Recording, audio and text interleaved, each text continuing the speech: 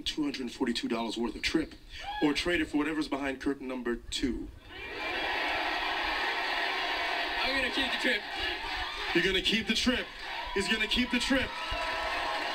Curtain number two. It was a big fake pie. Good job. You are going to New York, my friend. Nice job. Feel how fake this is.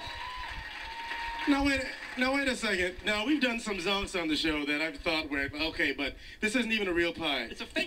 This is not even a real pie. So the zonk doesn't. This is not even a real pie. There's No. no crust. Now, Made of styrofoam. now this on the other hand, this is a real pie. Uh-oh. So Jose, if you would have gotten this zonk, I would have pressed this against your face, old school slapstick style. But not only, but I consider myself a very talented person, way beyond a pie.